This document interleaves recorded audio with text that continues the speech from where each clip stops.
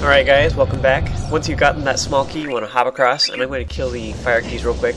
Now, if you remember from earlier, the very first Goron that we rescued told us that we needed to head up to the room right above where we met Darunia as quickly as possible so that we could make the pillar that was in the ceiling come down so we could actually get to the boss door. Uh, so we're going to do that now, and uh, so you want to hop across to this platform right here and smack the face here and this will make the pillar fall down and so we have a path and we can get to the boss door. Unfortunately at this point in the game we do not have the boss key so we're going to have to actually go get that. You should have one small key at this point. If you do not have a single small key you need to go back and get it uh, before we can continue our way through the dungeon. So uh, head back to the entrance and then kill the fire Keese before we head onward.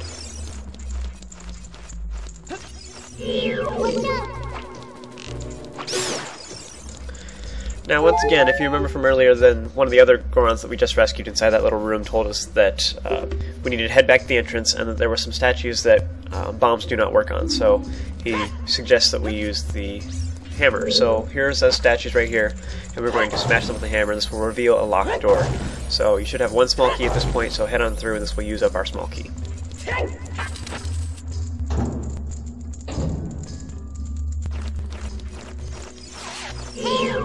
This little room is filled with torch slugs and fire Keese, so you're to have to alternate between using your fairy bow and your sword to kill these enemies. Uh, it's kind of tricky, you might want to try and lure all the fire Keese away first, um, so that way they're not attacking you from all directions. Uh, the torch slugs are much easier, but they're awkward when you're in the middle of trying to deal with the keys.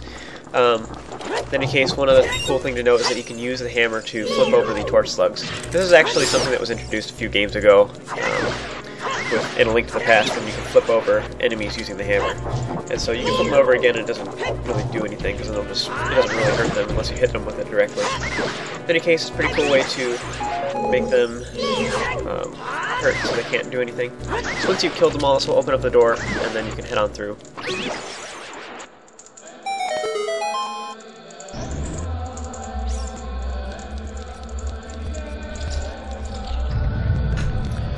In this room, there are some more tiles and a like like to deal with, so just dispatch them, and then we can head onwards. There's a gold tool that we can snag.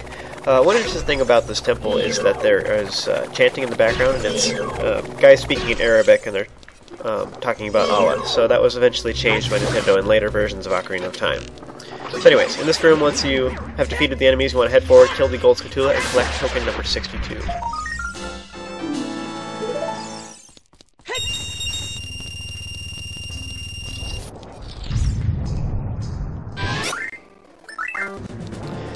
So now you're going to meet up with another Flare Dancer. These guys should be immensely easy for you at this point. Just use your hook shot to pull him out of his form, and then you can just attack him with your sword or your hook shot. Uh, so these guys should be immensely easy for you now, and now that you have the hammer, it's going to make these guys a lot easier. Remember that a jump attack will um, kill him instantly and move you on to the next phase if you are, once he's in that little form.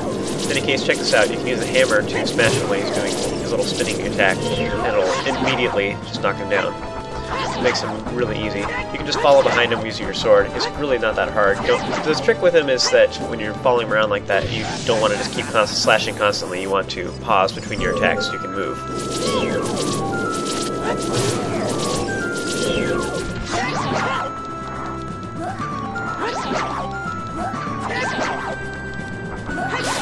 Once he's defeated, this will open up the nearby door, as well as make a little small chest appear, which contains bombs. If you're in need of bombs, go ahead and open it.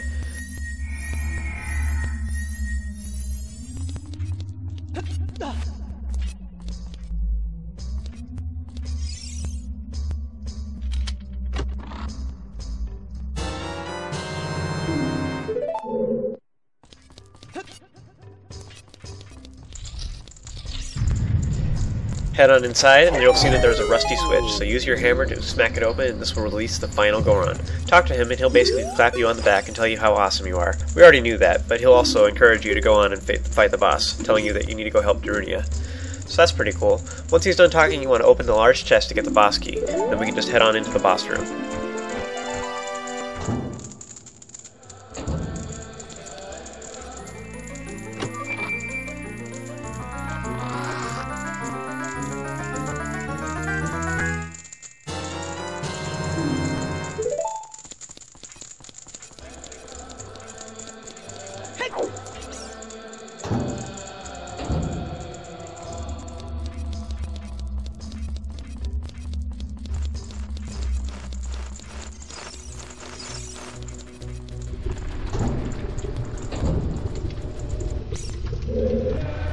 Now before we tackle the boss, you might want to collect some fairies. Off to the right side, you can use your hookshot to get over to this platform, and there are some fairies inside uh, the jars over here, so you can use your empty bottles to collect them. Uh, I'm actually full at the moment, so I'm just going over here just to show you guys. Once you're done with that, you want to head on into the boss door, and that is it for this video. Join me for the next one, and I will show you how to defeat the boss of the Fire Temple, Volvagia.